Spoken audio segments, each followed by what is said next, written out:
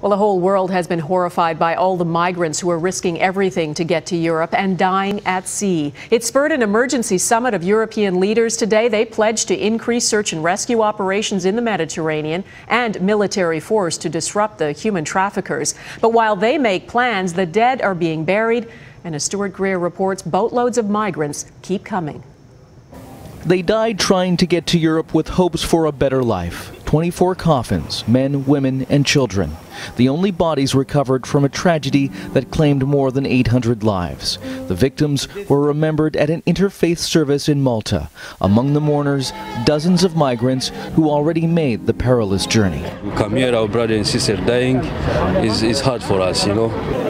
EU leaders also remembered the victims, holding a minute of silence ahead of emergency talks. As part of a 10 point plan, they agreed to ramp up search and rescue operations in the Mediterranean. And they will hunt down human trafficking vessels and destroy them before they can be used to ship migrants. Now, of course, saving lives means rescuing these poor people, but it also means smashing the gangs and stabilizing the region.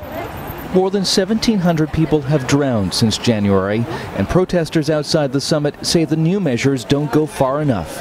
Even with extra funding, the bolstered search and rescue mission will still be smaller than last year's.